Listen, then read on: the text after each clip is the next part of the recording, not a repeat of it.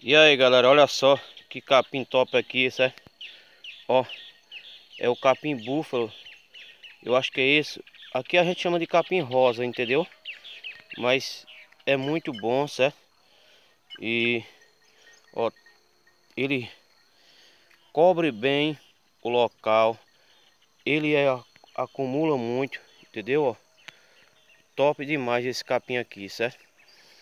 Eu acho que é o búfalo. A gente aqui chama capim rosa, entendeu? Capim rosa. Então, olha só.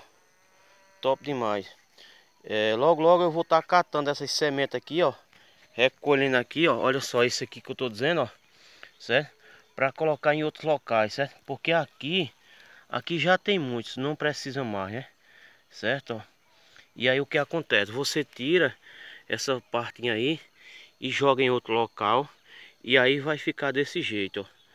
Que pouco, é, é pouco aqui, né? Isso aqui foi o que plantei, né?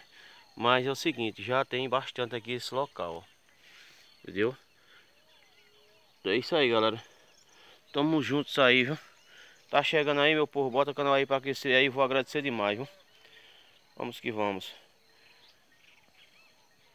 Pois é, galera. Capim muito bom aqui, ó. Muito bom mesmo.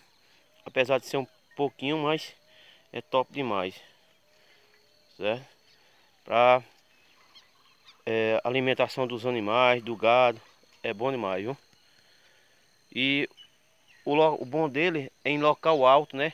Onde não acumula muita água. Certo? É essa aqui. Ele se adapta bem aqui ao nosso, ao nosso clima aqui. Ao nosso clima que é um pouco quente. Beleza? Tamo juntos.